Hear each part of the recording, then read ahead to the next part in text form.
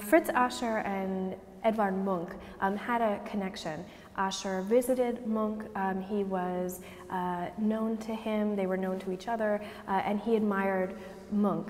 Um, and one of the things which he may have been inspired um, uh, by Munch and Munch's practice was Munch's involvement in the theosophical ideas about color and color as a way to express uh, mental states and internal states. Um, Ascher, in addition to being influenced and possibly affected by this expressive potential of color, he may have also been in, involved in some of the ideas circulating among the you know, Vasily Kandinsky and the artists we think of as expressionists, this idea that you need to be able to represent not just sense, not just feelings uh, beyond representation, but also senses beyond representation. How do you represent sound in a visual manner? Um, how do you represent motion, experience in a static medium? So all of these concerns were kind of circulating not only in the air prior to the First and Second World War, but also very specifically within Ascher's orbit. And you can kind of see perhaps uh, how these ideas were manifested in Ascher's work, looking in his work following the Second World War.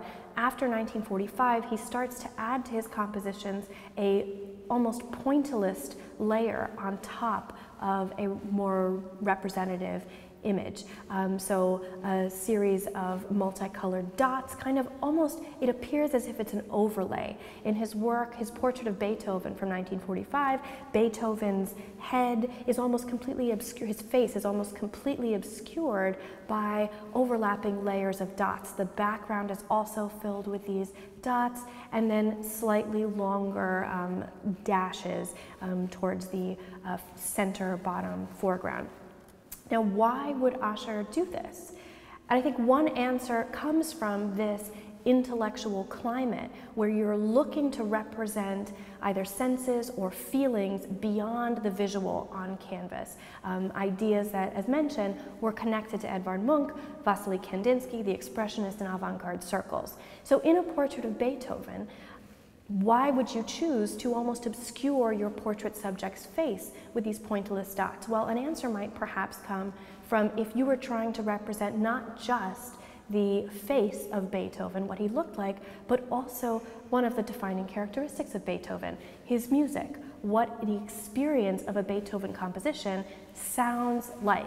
So one way of looking at this pointillist overlay may be a way for Ascher to experiment through the evocative potential of color, through these sort of multi-layers of the composition, the figure, and then this overlay with how do you visually represent perhaps sound, not just Beethoven, but Beethoven's work on canvas.